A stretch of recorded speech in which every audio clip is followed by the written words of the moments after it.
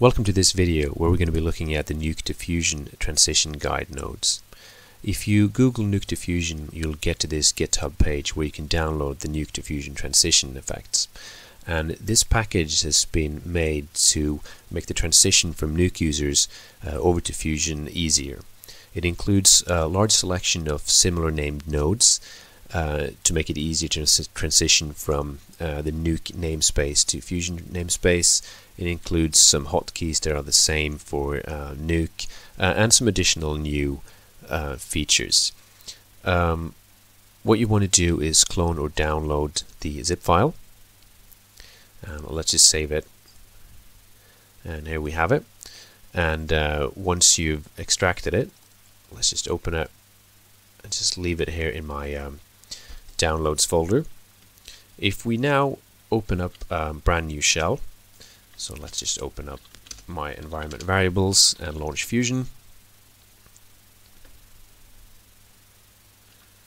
If you now want to install the effects, you want to go to the uh, preferences, global and default settings, and there's a section called path maps.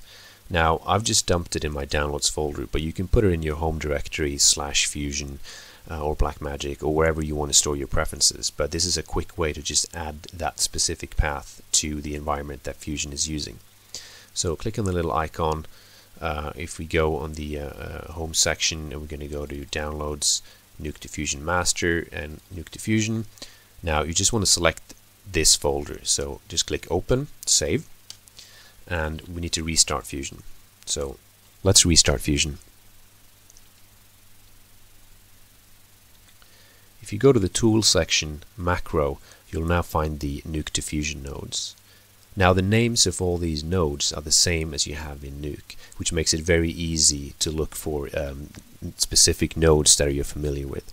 So with this package you also get a bunch of hotkeys. So if you hit Tab instead of Shift Space, uh, you can type in constant and you'll get the Fusion equivalent, which is called a background.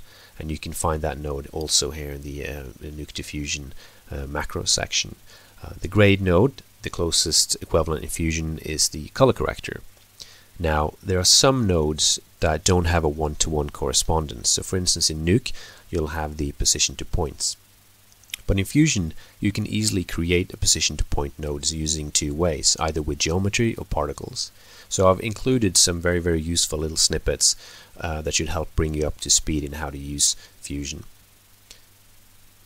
There are additional hotkeys mapped uh, with this package, um, the same as in Nuke. There's R for read, it's G for grade, um, there is B for blur, uh, there is M for merge, and I've also mapped uh, capital letters to be 3D equivalent. So if, if a lowercase m is a 2D merge, then uh, capital M is a 3D merge.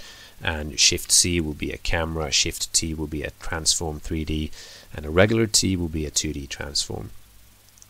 The last thing that might be useful is uh, I've included a bunch of extra layouts here to mimic Nuke's layouts. You can check them out if you're more familiar with some of these other types of layout. I hope this package is going to be useful for you guys. Enjoy and thanks for watching.